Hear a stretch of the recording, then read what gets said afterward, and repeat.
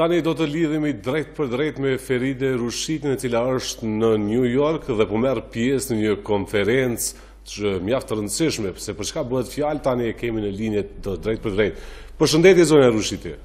Përshëndetje. Atëherë mund të na informosh çfarë konference është kjo dhe cila është rëndësia e saj? Në fakt, në New York jam që nga e hëna, ku kem pas një varg takimesh me delegacione të ndryshme, duke filluar nga delegacioni i BE-s në New York, pastaj zyra e misionit të përhershme në Gjermani, të Gjermanisë në New York, pastaj edhe zyrtarë të tjerë të vendeve të akredituara këtu në New York, për të ndarë përvojën dhe sfidat me të cilat ballafaqohet procesi i reparacionit në Kosovë, po mbi të gjitha Dje ishte takimi më i madh dhe më i rëndësishëm, i cili organizohej nën patronazhin e dy laureatëve, Zonjës Nadia Murat dhe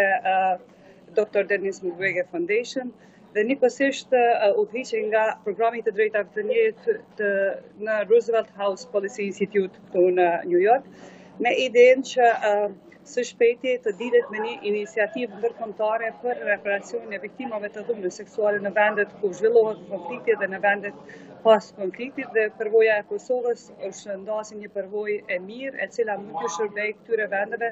për të marrë mësim se si mund të bëhet një proces i reparacionit i cili ka për uh, fokus nevojat e të mbijetuarave të dhunës seksuale dhe në këtë drejtim unë bashkërisht me Zonjën Vasfije Krasniqi Goodman kemi ndarë përvojën e Kosovës unë nga perspektiva e organizatës joqeveritare që punoj në këtë fushë pothuajse 20 vjet ndërsa Zonja Vasfije Krasniqi Goodman nga perspektiva e një të mbijetuare dhe nga fakti që ajo përmes përvojës dhe ndarjes së historisë së saj ka thyrë stigmën dhe proceset edhe ka adresu dhimbjen e saj përmes storjes së saj personale, duke i lëviz shoqërinë dhe institucionet e Kosovës për të bërë ma tutje në raport me këtë kategori. Zonja Rushiti, nëse më dëgjon, të lutem, po. atëherë si si e kanë pritur, si është komentuar rrëfimi rrëqethës realisht i zonjës Vasfi që është bërë publik tashmë? Unë në, në fakt edhe krejt konferenca e cila në vetvete ka mbledh jo vetëm uh, doktor Denis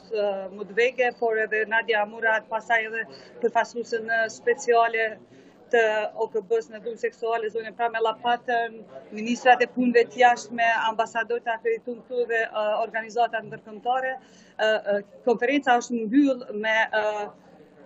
fjalën e zonjës Vasfije, ku ajo ka thënë që unë i kam dhuru, unë nuk m'u ka venu mbi drejtësinë, që ka dështu në tri halka